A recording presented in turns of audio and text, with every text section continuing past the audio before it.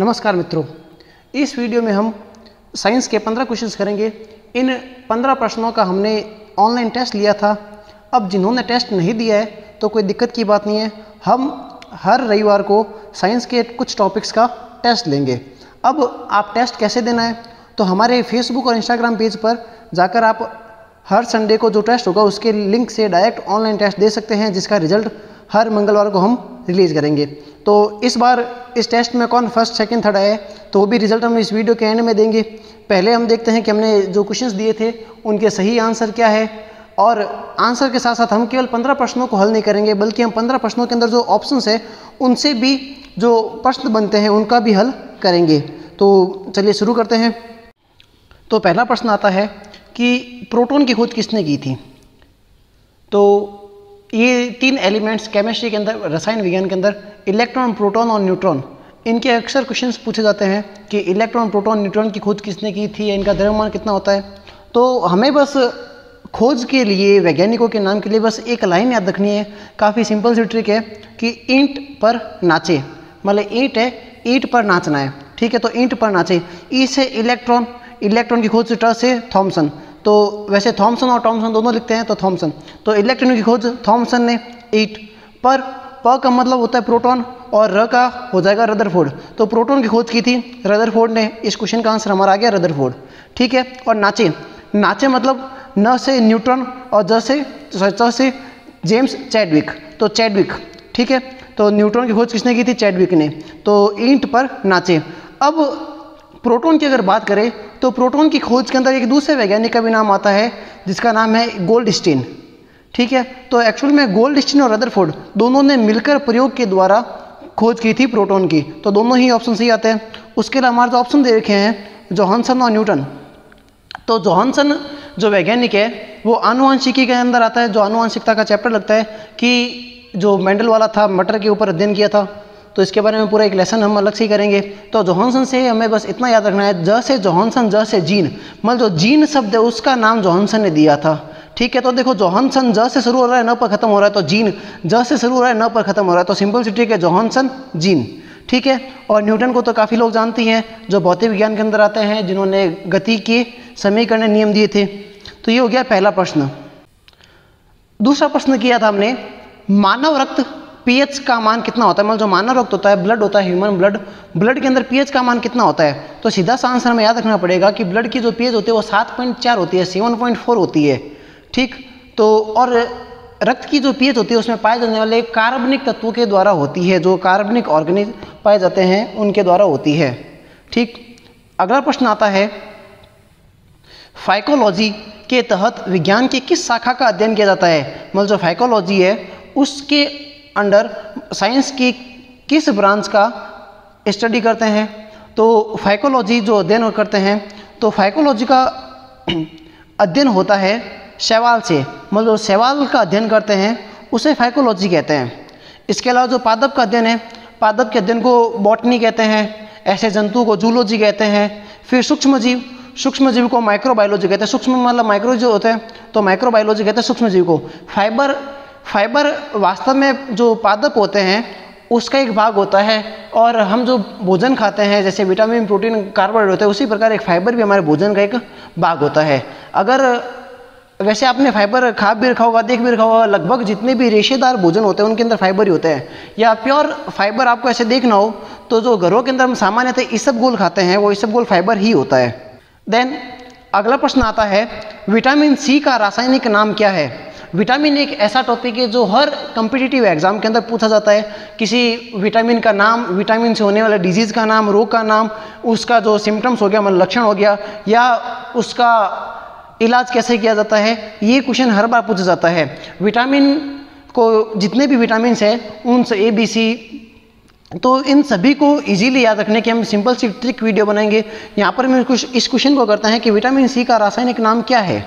तो vitamin C का जो रासायनिक नाम होता है, वो होता है एस्कार्बिक एसिड तो हमारा आंसर हो जाएगा एस्कार्बिक एसिड इसका जो रेटिनॉल है रेटिनॉल विटामिन ए का नाम होता है. स्कर्वी स्कर्वी की अगर बात करें तो ये किसी विटामिन का नाम नहीं है, बल्कि ये विटामिन से होने वाला डिज़ीज़ है और ये होता है विटामिन सी से. मतलब जो क्वेश्चन पूछा गया है, उसमें जो विटामिन पूछा है, उसका नाम तो एस्कार्बिक एसिड है एस्कार्बिक अम्ल है बट उससे जो रोग होता है डिज़ीज़ होती है, उसका नाम होता है स्कर्वी इसके जो नियासिन है नियासिन को नॉर्मली निसिन भी बोलते हैं. निसिन मतलब तीन शब्द हो गए तो इसका ये होता है विटामिन बी थ्री का नाम. विटामिन बी एक्चुअल में विटामिन बी एक कॉम्प्लेक्स होता है, जिसके अंदर अलग अलग विटामिन आते हैं, उसमें से बी थ्री है, जिसका नाम होता है नियासिन अगला प्रश्न आता है कि HIV विषाणु से कौन सा रोग होता है? तो ये काफ़ी आसान सा प्रश्न है, लगभग सभी को इसका आंसर पता होता है कि जो HIV होता है, उससे एड्स होता है। अगला प्रश्न आता है कि पेंसिल में क्या होता है? मतलब जो हम पेंसिल यूज़ करते हैं, उसके अंदर जो जो ब्लैक कलर का होता है, जिसे हम लिखते हैं, जिसे हम चौंस बोलते हैं, नीडल बोलते हैं, जो भी तो वो क्या होता है वास्तव में? ठीक? तो अगर देखा जाए तो पेंसिल के ऊपर लेड पेंसिल लिखा हुआ आता है। इससे हम ये कन्फ्यूज़ आता है कि वो लेड होगा।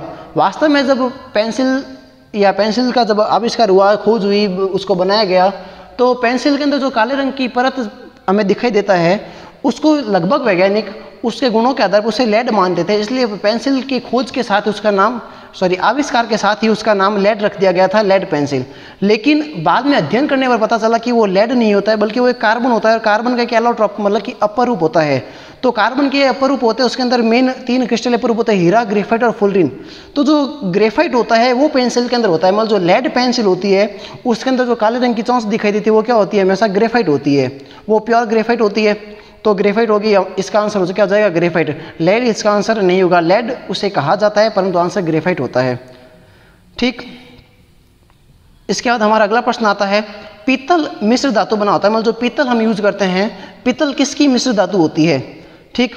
तो मिश्र धातुएँ भी कंपिटेटिव एग्ज़ाम के अंदर काफ़ी पूछ जाती है, कुछ मिश्र धातुएँ ही है, जिन्हें ही बार बार घुमा फिरा के पूछा जाता है. यहाँ पर पीतल मिश्र धातु को याद रखने की सामान्य सी ट्रिक हमें ध्यान रखने एक, कि हमारे लिए सबसे ज़्यादा आदरणीय कौन होता है भाई? सिंपल सी बात है, पिताजी होते हैं। तो पीतल या पिताजी? पिताजी। पी से पीतल, ता से तांबा और ज से जस्ता।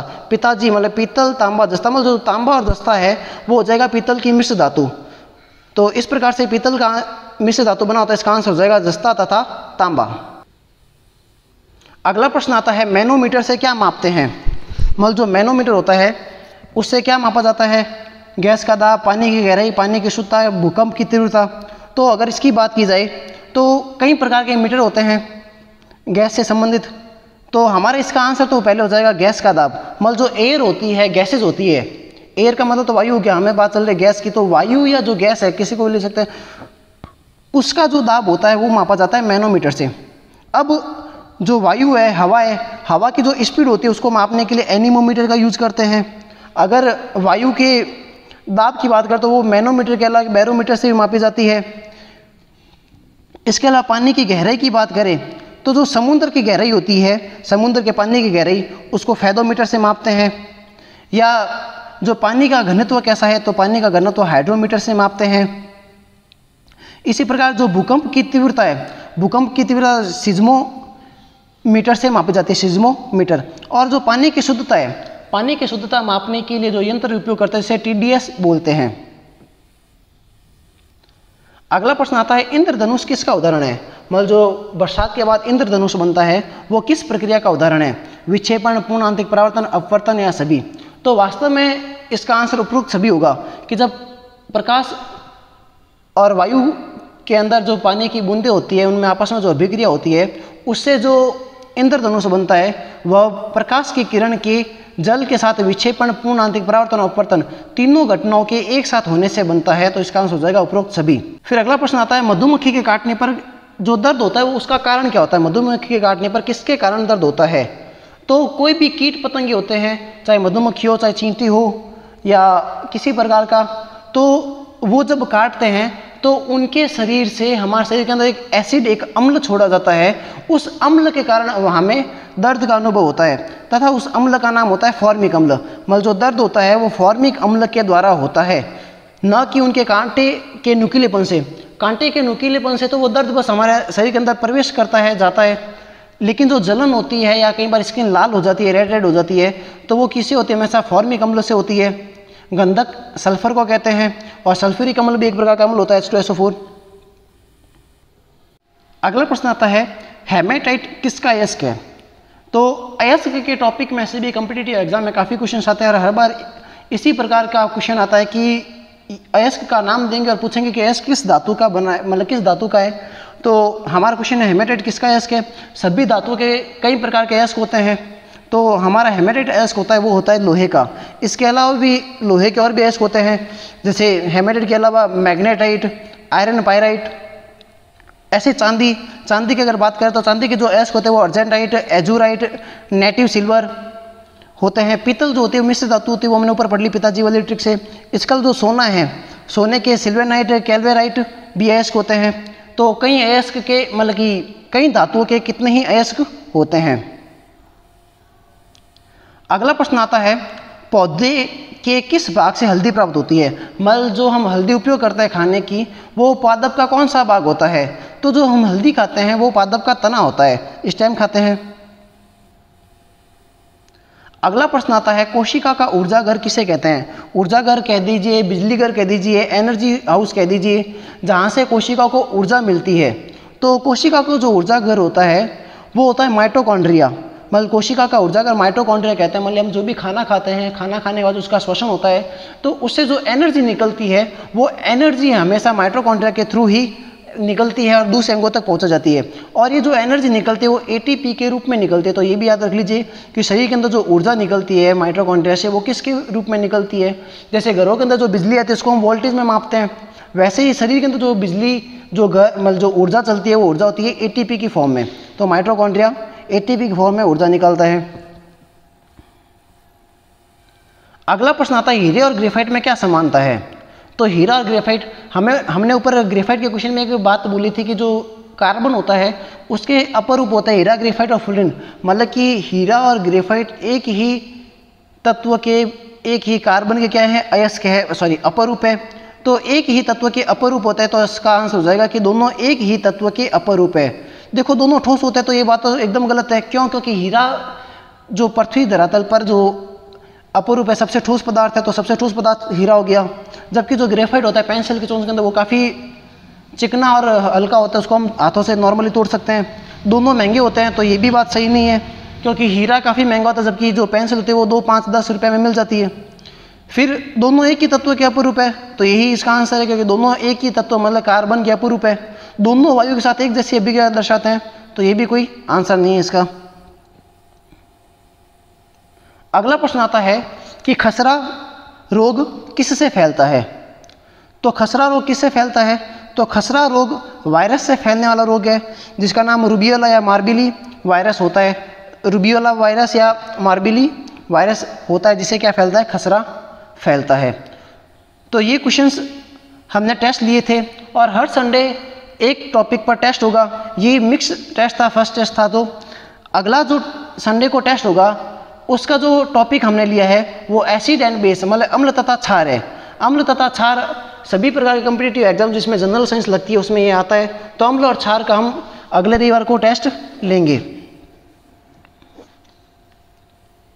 तथा पिछले रविवार को जो टेस्ट हुआ था, उसके रिज़ल्ट के रूप में हमने जो पंद्रह टेस्ट लिए थे, उनमें से ये है, उनका रिज़ल्ट